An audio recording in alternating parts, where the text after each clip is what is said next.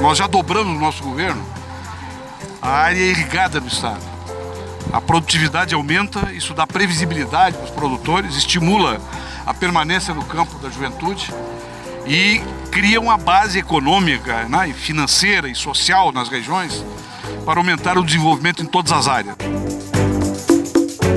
Nós vamos ter uma safra muito boa aqui no estado, o preço do milho está também muito bom e nós caminhamos para a autossuficiência. Essa é a questão mais importante. Né? O produtor obtendo renda, ele tendo lucro ao final da safra, né, ele vai ampliar a área de milho plantado. A gente já pôde constatar a diferença do, do da lavoura irrigada para não irrigada, né?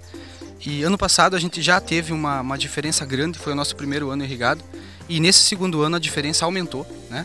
A gente tem que achar alguma forma de competir, né? E, e, a gente, a nossa saída, no nosso caso, a gente entendeu que fosse aumentar a produtividade e agregar em cima do que a gente tem.